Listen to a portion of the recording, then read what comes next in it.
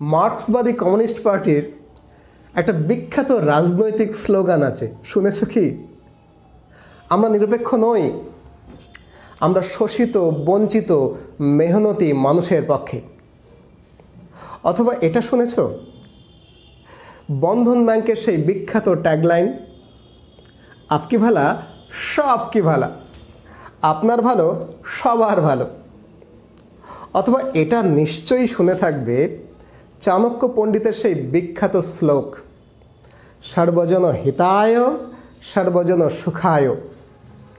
আর এই তিনটে slogan, tagline এবং শ্লোকের একটাও যদি শুনে থাকো, তাহলে তুমি নিশ্চিত হতে পারো, তুমি জানো সমাজতন্ত্রের ডেফিনেশন কি। What is the definition of socialism তুমি এটাও জানো যে সমাজতন্ত্র বা সোশ্যালিজম কয় প্রকার, কী কী? তুমি নিশ্চিত হতে পারো, তুমি এটাও জানো যে ভারতবর্ষের সংবিধানের প্রিয়াম্বল বা প্রস্তাবনায় উল্লেখিত সোশ্যালিস্ট সোশ্যালিজম বা সমাজতন্ত্রটা ঠিক কোন ধরনের সমাজতন্ত্র? আজকের এই ভিডিওতে সমাজতন্ত্রটাকে নিয়ে কাটাছেড়া হবে। সমাজতন্ত্র কাকে বলে, কয় প্রকার এবং কী কী, ভারতবর্ষে কোন ধরনের সমাজতন্ত্র রয়েছে, কেন রয়েছে, সবটা জলবৎ তরলং হয়ে যাবে। কথা দিচ্ছি।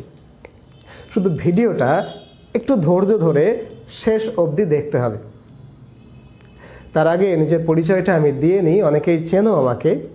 আমি Sujit Debnath motivational speaker and a guide for WBCS and other government service examinations তো ডাব্লিউবিসিএস টু থাউজেন্ড মেন্সের একটা কোয়েশ্চেন যে ভারতবর্ষের সংবিধানের প্রস্তাবনায় উল্লেখিত সমাজতন্ত্রটা আসলে কোন ধরনের সমাজতন্ত্র?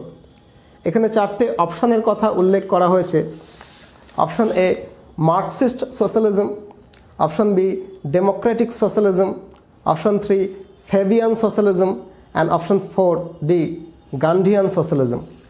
অর্থাৎ ভারতবর্ষের প্রস্তাবনায় উল্লেখিত সমাজতন্ত্র কী ধরনের সমাজতন্ত্র? মার্কসিস্ট সোশ্যালিজম, ডেমোক্রেটিক, অথবা ফেভিয়ান, অথবা গান্ধিয়ান। এইটা জানার আগে, অর্থাৎ সমাজতন্ত্র সম্পর্কে কনসেপ্টটা ক্লিয়ার করার আগে, আমাদেরকে জানতে হবে যে ধনতন্ত্র কাকে বলে? হোয়াট ইজ ক্যাপিটালিস্টিক ইকোনমি ধনতান্ত্রিক অর্থনীতি বা ক্যাপিটালিস্টিক ইকোনমির ডেফিনেশন দিতে গিয়ে আমি প্রায়ই মজা করে বলি, এটা হলো ফ্যালোকরি মাখো তেল টাইপের ইকোনমি মানে মানে তেল মাখতে গেলে কড়ি ফেলতে হবে। অর্থাৎ বাজার অর্থনীতির ওপরে ভিত্তি করে সমস্ত পরিষেবা পাওয়া যাবে। ধরো, তুমি একটা ধনতান্ত্রিক রাষ্ট্রে বাস করো এবং কোনো একটা প্রোডাক্ট পারচেস করতে চাও। তো কেন? কে আটকেছে? রাষ্ট্র তো আটকাবে না। বাজারে যাবে, সেই প্রোডাক্টের যা দাম, সেই মূল্যটা চোকাবে এবং প্রোডাক্টটা পেয়ে যাবে। মার্কেটে কি প্রোডাক্ট থাকবে এবং তার কত দাম হবে, সেটা নিয়ন্ত্রণ নিয়ন্ত্রণ করার জন্য সরকার কোনো রকম দায়বদ্ধ নয়, কোনো রকম পদক্ষেপও করবে না। বাজারটাকে ছেড়ে দেওয়া হবে বাজারের হাতে। অর্থাৎ বাজারের সাপ্লাই এবং ডিমান্ড থিওরির ওপরে নির্ভর করে প্রতিযোগিতার বাজারে তার দাম ওঠানামা করবে। সরকার এ ব্যাপারে কোনো রকম টেক কেয়ার করবে না। আর এটাই হলো ধনতন্ত্রের সবচেয়ে বড় বৈশিষ্ট্য। ধনতন্ত্রে সবসময় ধন বা অর্থ এই মানিকে প্রায়োরিটি দেওয়া হয়, মেধাকে প্রায়োরিটি দেওয়া হয়। কোনো সংরক্ষণ থাকে না বা সমাজের প্রান্তীয় বা দরিদ্র মানুষের জন্য রাষ্ট্র খুব বেশি দায়বদ্ধতা দেখায় না। ধরো তুমি ধনতান্ত্রিক কোনো রাষ্ট্রে বাস করো এবং চিকিৎসার জন্য তোমার হাসপাতালে যাওয়ার দরকার। তো এক্ষেত্রে কিন্তু কোনো রকম পাবলিক বা দাতব্য চিকিৎসালয় পাওয়া যাবে না ধনতান্ত্রিক রাষ্ট্রে। মার্কেটে প্রচুর পরিষেবা রয়েছে হাসপাতালের। যে কোনো একটা পরিষেবা তুমি নিতে পারো, কিন্তু সেই পরিষেবার মূল্যটা তোমাকেই চুকোতে হবে। অথবা ধনতান্ত্রিক রাষ্ট্রে, ধরো তুমি তোমার ছেলে বা মেয়েকে স্কুলে ভর্তি করাতে চাও, সেক্ষেত্রেও কিন্তু কোনো পাবলিক স্কুল পাওয়া যাবে না। সবটাই প্রাইভেট স্কুল তাদের নিজস্ব নিজস্ব ফি স্ট্রাকচার রয়েছে। তার যেটা তোমার পছন্দ, সেই পছন্দ অনুযায়ী ফি স্ট্রাকচার তোমাকে মেনটেন করতে হবে। সেই ফিস দিয়েই তোমাকে সেই স্কুলে ভর্তি করতে হবে। এইটা হলো ধনতান্ত্রিক রাষ্ট্রের কেরামতি। তাহলে সমাজতন্ত্রটা কি? এখন সমাজতন্ত্র বলতে গেলে আমাকে বলতে হয় যে সমাজতন্ত্র অ্যাকচুয়ালি দু রকমের, মূলত। একটা হলো বৈজ্ঞানিক সমাজতন্ত্র সায়েন্টিফিক সোশ্যালিজম যেটার প্রবক্তা হচ্ছে কার্ল মার্কস, এবং কার্ল মার্কস যেহেতু এটার প্রবক্তা, সেই অনুযায়ী একে মার্কসিস্ট সোশ্যালিজমও বলে। মার্কস প্রবর্তিত বৈজ্ঞানিক সমাজতন্ত্রের ডেফিনেশনটা কি? ওই যে ভিডিওর শুরুতেই বলেছিলাম মার্ক্সবাদী কমিউনিস্ট পার্টির সেই বিখ্যাত রাজনৈতিক স্লোগান, আমরা নিরপেক্ষ নই। তাহলে কাদের পক্ষে? আমরা শোষিত, বঞ্চিত, মেহনতি, শ্রমজীবী মানুষের পক্ষে। অর্থাৎ রাষ্ট্র যখন ধনী মানুষদের কেয়ার না করে, শুধুমাত্র শোষিত, বঞ্চিত, হতদরিদ্র, মেহনতি মানুষের কেয়ার করবে তখন সেই তন্ত্রটাকেই আমরা বলব সায়েন্টিফিক সোশ্যালিজম বা বৈজ্ঞানিক সমাজতন্ত্র যার প্রবক্তা কার্ল মার্কস। এখন এই ধরনের সমাজতান্ত্রিক দেশে বাজার অর্থনীতির কোনো জায়গা নেই। সমস্ত অর্থনীতিটাকেই কন্ট্রোল করবে সরকার। তুমি কোনো একটা প্রোডাক্ট কিনতে চাও, সেটা পাওয়া যাবে কি যাবে না বাজারে, সেটা নির্ণয় করবে কে? সরকার। অধিকাংশ ক্ষেত্রে সেই প্রোডাক্টটার নির্মাতা কে হবে? সরকার। আর যদি সরকার ব্যতীত অন্য কেউ সেই প্রোডাক্টটা নির্মাণ করেও, তাহলে তাকে সরকারের কাছ থেকেই লাইসেন্স নিতে হবে। প্রোডাক্টের দাম কত হবে নির্ণয় করবে সরকার। একটা সমাজতান্ত্রিক, বৈজ্ঞানিক সমাজতান্ত্রিক দেশের বাজার অর্থনীতি নয়, সরকার নিয়ন্ত্রিত অর্থনীতি। সেখানে কি হবে? যদি তুমি হাসপাতালে পরিষেবা নিতে যাও, তাহলে সবসময় সেখানে পাবলিক হাসপাতালই থাকবে প্রাইভেট হাসপাতালের অস্তিত্বটাই থাকবে না। ছেলে বা মেয়েকে স্কুলে ভর্তি করতে গেলে সেখানে সরকারি স্কুলেই ভর্তি করতে হবে প্রাইভেট স্কুল থাকবে না।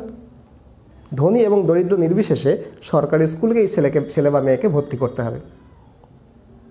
এখানে ধনতান্ত্রিক রাষ্ট্রে যেমন কি, কোনো এসসি এসটি কোনো রকম রিজার্ভেশনের কথা ওরা বলে না। কিন্তু সমাজতন্ত্রে কী হচ্ছে, যে একটু কম জড়ি তাকে রিজার্ভেশন দাও, এটা কিন্তু সমাজতন্ত্রের বৈশিষ্ট্য। তাকে একটু টেনে তোলো। সে তো দরিদ্র, গরিব, তাকে একটু টেনে তোলো। তার প্রতি টেক কেয়ার করো।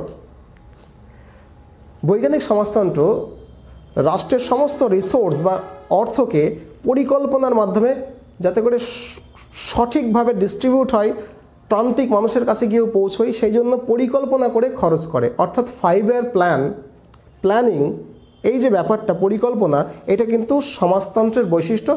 বৈজ্ঞানিক সমাজতন্ত্রে এটা একটা সাংবিধানিক ব্যাপার। আশা করি বোঝা গেল। এর পাশাপাশি একটা সমাজতন্ত্র রয়েছে যেটাকে বলা হয় গণতান্ত্রিক সমাজতন্ত্র। এই গণতান্ত্রিক সমাজতন্ত্রের বৈশিষ্ট্যটা আমি ডেফিনেশনটা আমি বলব। এটা হলো ধনতন্ত্র এবং বৈজ্ঞানিক সমাজতন্ত্রের মাঝামাঝি একটা তন্ত্র।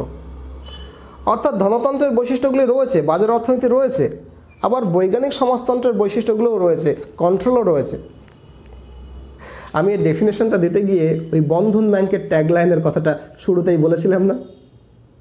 আপকি ভালা? সব কি ভালা? আপনার ভালো? সবার ভালো। সর্বজন হিতায় সর্বজন সুখায় অর্থাৎ সবার হিত, সবার ভালো হবে, এইটা অ্যাডাপ্ট করে যে অর্থ, যে সমাজতন্ত্রটা তৈরি করা হয়, যেটা বৈজ্ঞানিক সমাজতন্ত্র এবং ধনতন্ত্রের ঠিক মাঝখানে তাকে বলা হয় গণতান্ত্রিক সমাজতন্ত্র। এই সর্বজন হিতায় সর্বজন সুখায় এই টাইপের গণতান্ত্রিক সমাজতন্ত্রের প্রবক্তা হলেন এডওয়ার্ড বার্নস্টাইন। এডওয়ার্ড বার্নস্টাইন প্রবর্তিত এই সমাজতন্ত্রের বৈশিষ্ট্যগুলো কী কী? এখানে বাজার অর্থনীতি থাকবে, আবার সেটা কিন্তু সরকার খানিকটা নিয়ন্ত্রণও করবে। অর্থাৎ পুরোপুরি বাজার অর্থনীতির হাতে দেশটাকে ছেড়ে দেওয়া হবে না। কোন প্রোডাক্ট মার্কেটে থাকবে সেটা সরকার ঠিক করবে খানিকটা খানিকটা করবে না। কিছু কিছু ক্ষেত্রে প্রোডাক্ট কেবল সরকারই বানাবে আর কিছু কিছু ক্ষেত্রে প্রোডাক্ট বাজারের হাতে ছেড়ে দেওয়া হবে। কোনো কোনো প্রোডাক্টের দাম সরকার নিয়ন্ত্রণ করবে, যেমন ওষুধ বা আমাদের অনেক জিনিসের দাম আমাদের সরকার পেট্রোল সরকার নিয়ন্ত্রণ করে। আবার কিছু কিছু জিনিসের দাম বাজারের হাতে ছেড়ে দেওয়া হবে। এই ধরনের গণতান্ত্রিক সমাজতন্ত্র ব্যবস্থায় তুমি যদি হাসপাতালে যেতে চাও তো সেখানে প্রাইভেট হাসপাতাল রয়েছে। উঁচু ফিজ যেতে পারো। পরিষেবা যেমন হবে, টাকা তোমাকে তেমন দিতে হবে।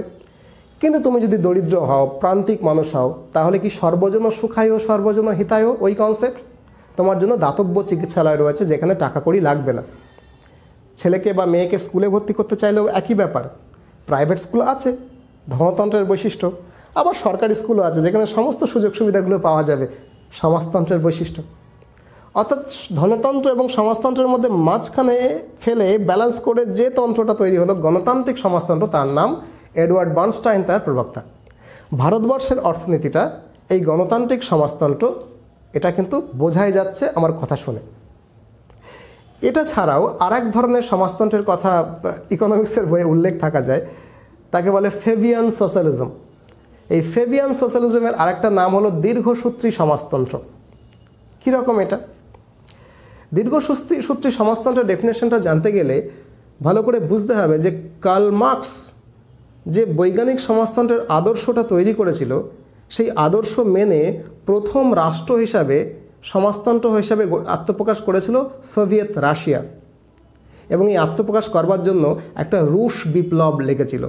অর্থাৎ একটা রেভুলেশন বা বিপ্লবের মাধ্যমে রাষ্ট্র ক্ষমতাকে উৎখাত করে সমাজতন্ত্রটাকে প্রতিষ্ঠা করতে হয়েছিল। এই ফেবিয়ান সোশ্যালিজম ব্যাপারটাতে ওই বিপ্লবকে এড়িয়ে যাওয়া হয়।